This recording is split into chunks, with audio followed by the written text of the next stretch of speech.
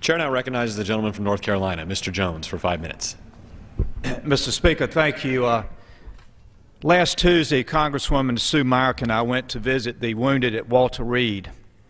These trips are always a vivid reminder of the true cost of war. Seeing the men and women who have lost limbs for this country make me wonder how many more are going to be uh, in that hospital, both uh, at Walter Reed and Bethesda, with severe wounds. After hearing Secretary Gates, I have great respect for Secretary Gates, but uh, he has made it clear that we will be in Afghanistan until 2014. He said it would be 2014 or 2015 before we can start substantially bringing down the number of troops in that country. Here we are in Washington battling right now about the 2011 budget. What should we do or not do and cut this and cut that? Yet we seem to find $8 billion a month for a corrupt leader in Afghanistan named Karzai. He's corrupt and his government is corrupt. And yet we're saying to the American people, if you're a senior, we can't be sure that you can get a sandwich at the Senior Citizen Center in your uh, county. We're saying to the children that cannot afford milk at home, well, there will be no programs for you. But yet we can find $8 billion a month for a corrupt leader in a country in a war that we cannot win. Our troops have already won. But history says you will not change Afghanistan, and I won't go through the history because of time.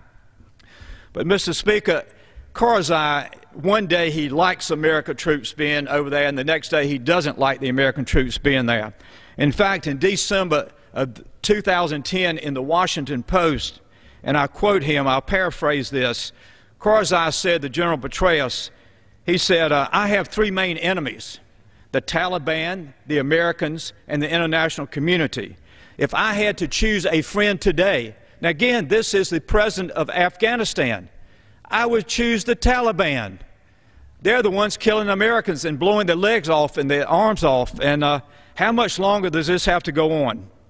I say to my colleagues in both parties, join uh, Representative Kucinich and Ron Paul and myself and many others, let's bring our troops home. I have a photograph here, Mr. Speaker, that was in the Raleigh, North Carolina paper about a year ago. This is a young Army sergeant. His legs are gone, they've been blown off. His right arm has been blown off, and he has a left arm. He's what they call a triple, triple amputee. And his lovely wife is there pushing the, the wheelchair. Mr. Speaker, it's time for the American people to say to those of us in Congress do not keep our troops there until 2014, 2015, 2016 for a corrupt leader. It's time to bring our troops home.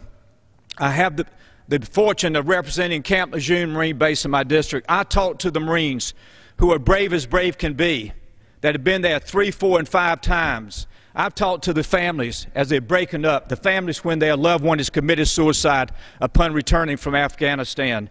It's time to bring them home. How many more would be like this sergeant, without legs, without arms? Mr. Speaker, last week on Tuesday, Sue Myrick and I saw two young men, one from Florida and one from Nevada, that have no body parts below their waist. The body parts are gone. Everything is gone. Wake up, Congress, and let's bring our troops home from Afghanistan. My close is this, Mr. Speaker. I ask God to please bless our men and women in uniform. I ask God to please bless the families of our men and women in uniform. I ask God in His loving arms to hold the families who've given a child dying for freedom in Afghanistan and Iraq. Mr. Speaker, I ask God to bless the House and Senate that we will do what is right in God's eyes. I'll ask God to give wisdom, strength, and courage to President Obama that he will do what is right in the eyes of God. And I'll ask three times God, please, God, please, God, please continue to bless America. And I yield back.